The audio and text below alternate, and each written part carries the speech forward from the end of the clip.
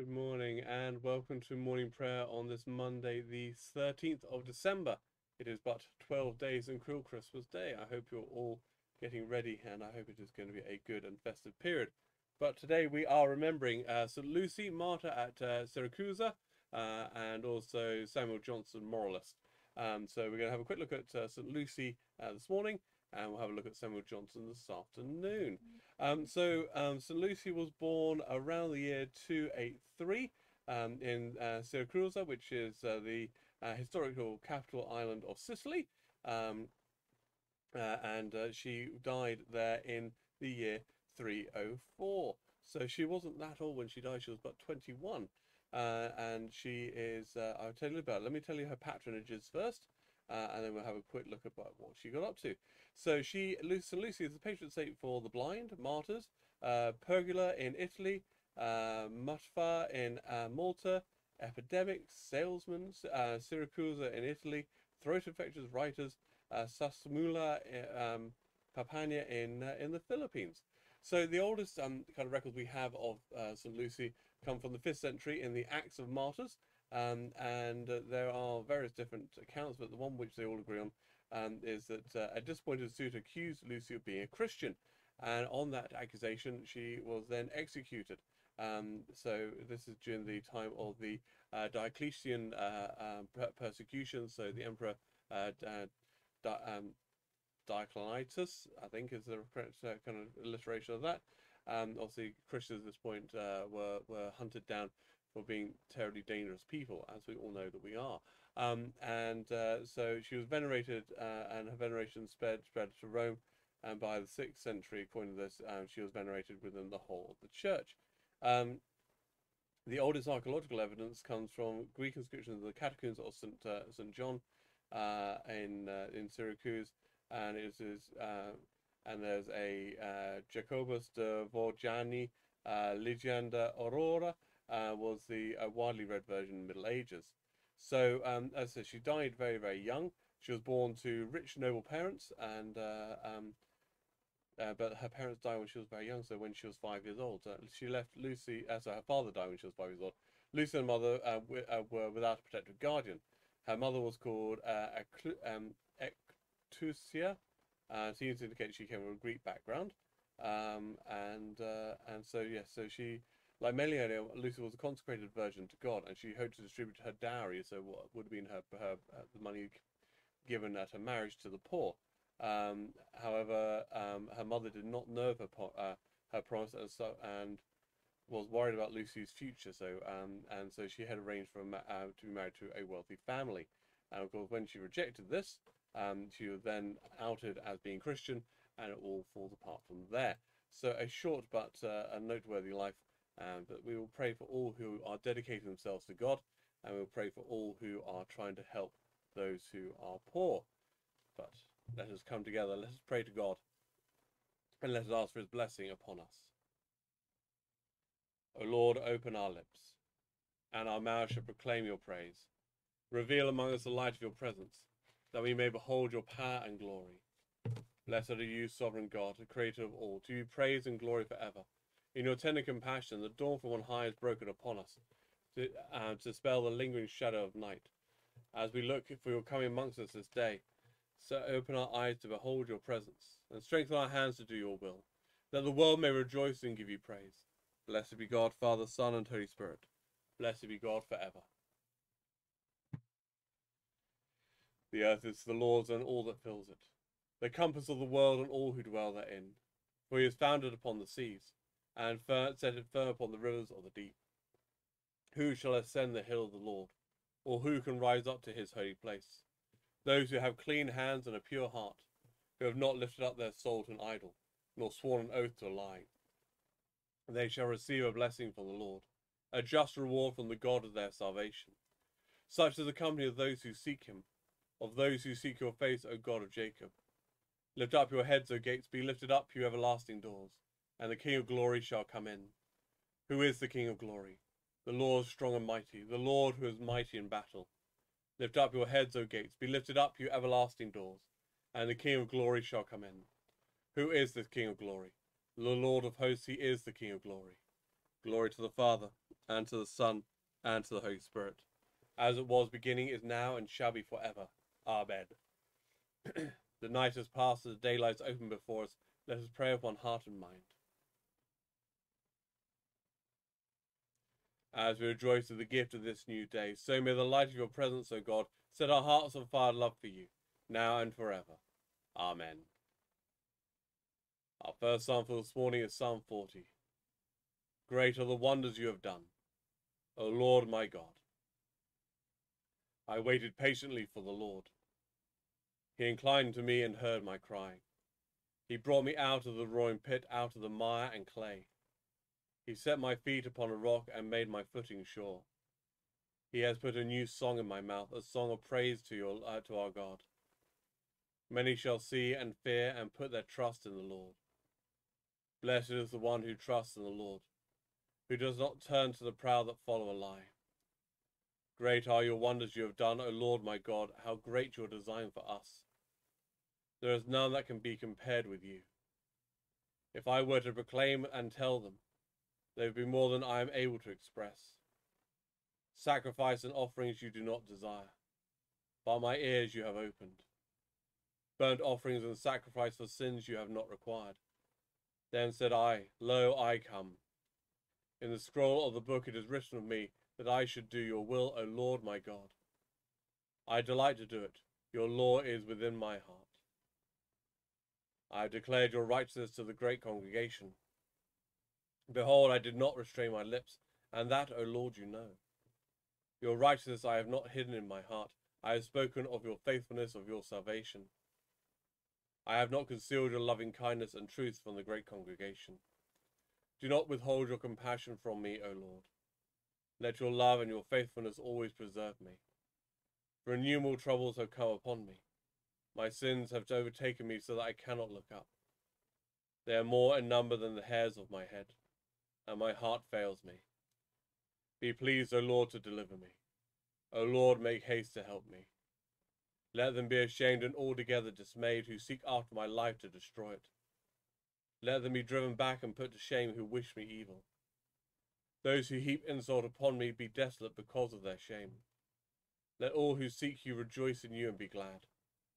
Let those who love your salvation say always, The Lord is great.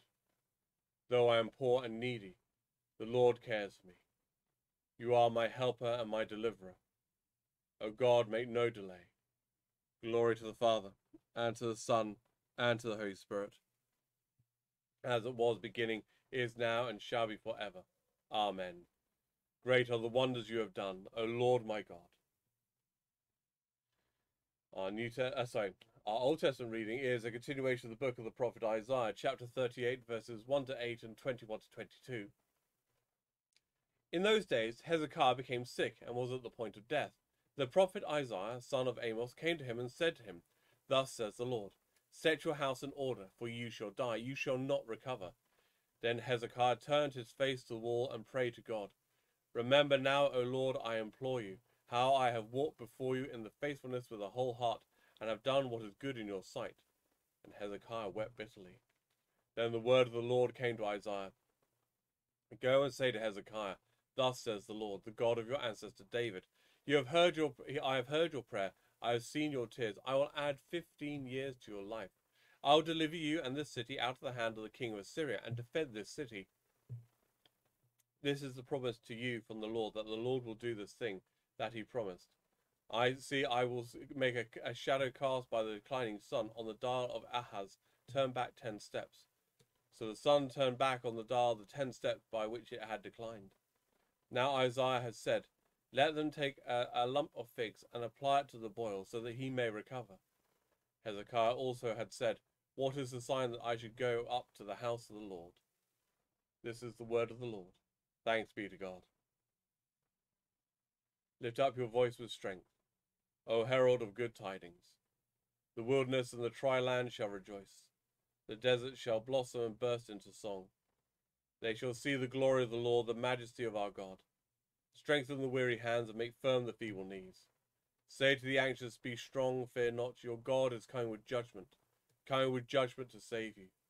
Then shall the eyes of the blind be opened, the ears of the deaf unstopped. Then shall the lame leap like a hart, and the tongue of the dumb sing for joy. For water shall break forth in the wilderness, and streams in the desert. The ransomed of the Lord shall return with singing, with everlasting joy upon their heads. Joy and gladness shall be theirs, and sorrow and sighing shall flee away. Glory to the Father, and to the Son, and to the Holy Spirit, as it was beginning, is now, and shall be forever. Amen. Lift up your voice with strength, O herald of good tidings.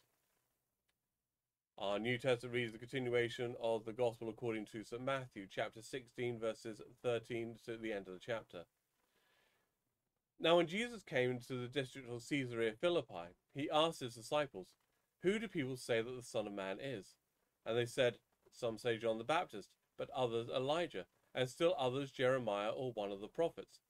He said to them, But who do you say that I am? Simon Peter answered, You are the Messiah, the Son of the living God.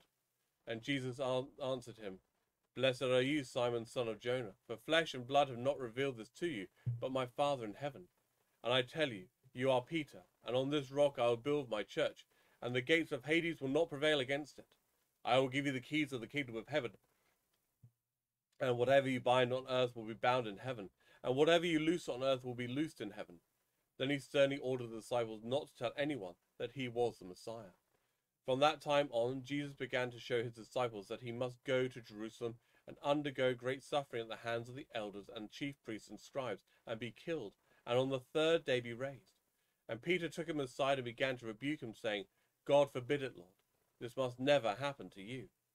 But he turned and said to Peter, Get behind me, Satan. You are a stumbling block to me, for you are setting your minds not on divine things, but on human things. Then Jesus told his disciples, if any of uh, if any want to become my followers, let them deny themselves and take up their cross and follow me. For those who want to save their life will lose it, and those who lose their life for my, uh, for my sake will find it. For what will it profit them if they gain the whole world, but forfeit their life? Or what will they give in return for their life? For the Son of Man is to come with his angels in the glory of his Father, and then he will repay everyone for what has been done. Truly I tell you, there are some standing here who will not taste death before they see the Son of Man coming in his kingdom. This is the word of the Lord. Thanks be to God. Now it is time to wake out of sleep, for the night is far spent and the day is at hand. Now is our salvation nearer than when we first believed, for the night is far spent. Let us therefore cast off the works of darkness and put on the armour of light, for the day is at hand. Put on the Lord Jesus and make no provision for the flesh, for the night is far spent and the day is at hand. Blessed are those who are persecuted for the cause of right, for theirs is the kingdom of heaven. Blessed be the Lord, the God of Israel, who has come to his people and set them free. He has raised up for us a mighty Saviour, born of the house of his servant David. Through his holy prophets, God promised of old to save us from our enemies, from the hands of all that hate us to show mercy to our ancestors and to remember his holy covenant. This was the oath God swore to our father Abraham, to set us free from the hands of our enemies, free to worship him without fear, holy and righteous in his sight all the days of our life. And you, child, shall be called the prophet of the Most High, for you will go before the Lord to prepare his way, to give his people knowledge of salvation by the forgiveness of all their sins. In the tender compassion of our God, the dawn from on high shall break upon us, to shine on those who dwell in darkness and the shadow of death, and to guide our feet into the way of peace. Glory to the Father, and to the Son, and to the Holy Spirit, as it was beginning, is now, and shall be for ever. Amen. Blessed are those who are persecuted for the cause of right, for theirs is the kingdom of heaven. So let us pray.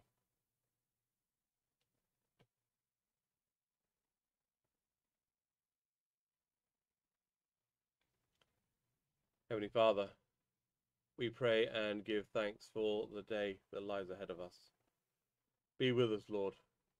Guide us so that we may do what is right by you. Show us the path you would have us follow. Keep us on the route which leads to you, that leads to your salvation. Lord, in your mercy, hear our prayer. Holy God, we pray and give thanks for your servant and martyr, St. Lucy, for her dedication to you, for consecrating herself to you. We pray for all who are called to dedicate their lives to your service. We pray for all who are called to the life monastic. We pray for those who are helping those who are poor and homeless. We pray for all who are showing love to others. Lord, in your mercy, hear our prayer.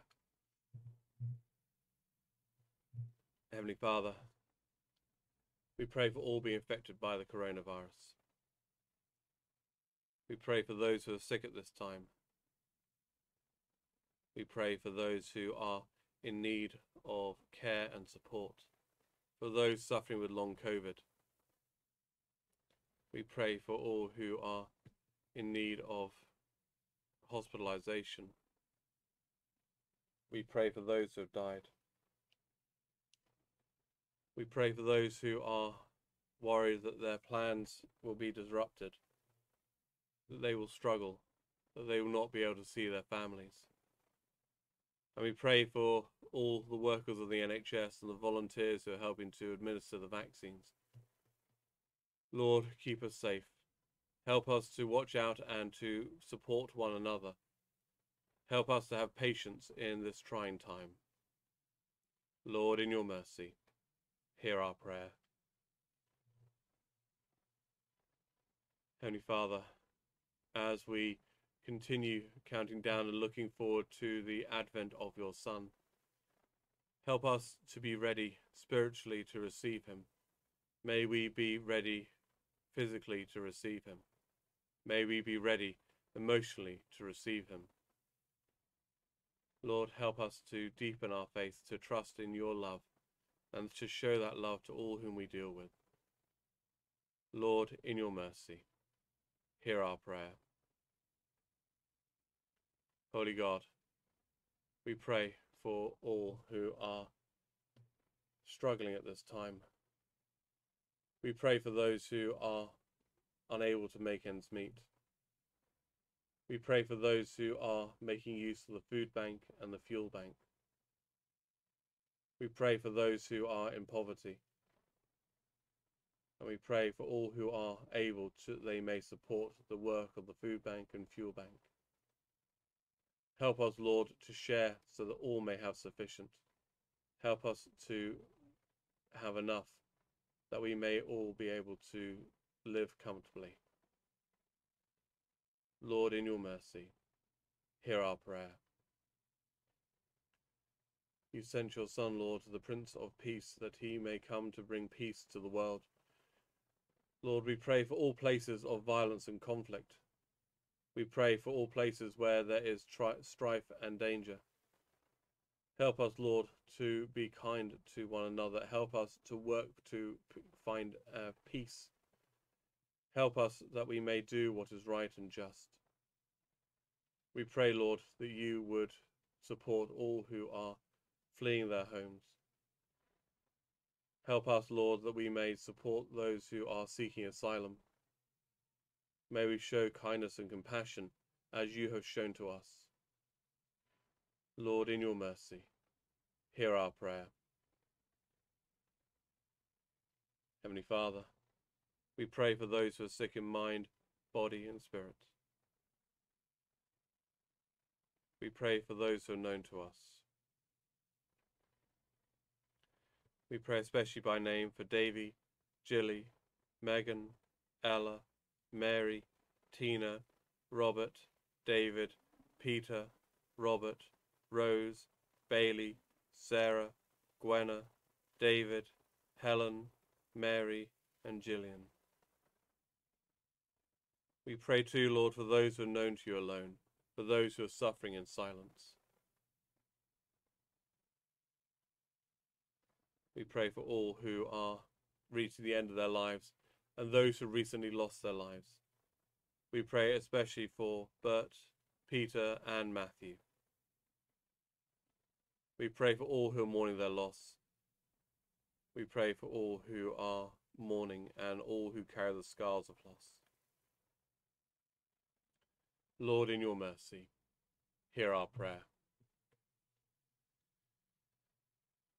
God, our Redeemer, who gave light to the, uh, to the world that was in darkness, by the healing power of the Saviour's cross, Shed that light on us, we pray, that with your martyr Lucy we may, by the purity of our lives, reflect the light of Christ, and by the merits of his passion, come to the light of everlasting life. Through Jesus Christ, your Son, our Lord, who is alive and reigns with you in the unity of the Holy Spirit, one God now and forever. Amen. Awaiting his coming in glory, let us pray with confidence as our Saviour has taught us. Our Father, who art in heaven, hallowed be thy name. Thy kingdom come, thy will be done, on earth as it is in heaven. Give us this day our daily bread, and forgive us our trespasses, as we forgive those who trespass against us. And lead us not into temptation, but deliver us from evil. For thine is the kingdom, the power, and the glory for ever and ever. Amen. May the Lord, when he comes, find us watching and waiting. Amen. Let us bless the Lord. Thanks be to God. Please do join me this evening at 5 pm for evening prayer. And until we see each other again, God bless, stay safe, and have a very good day.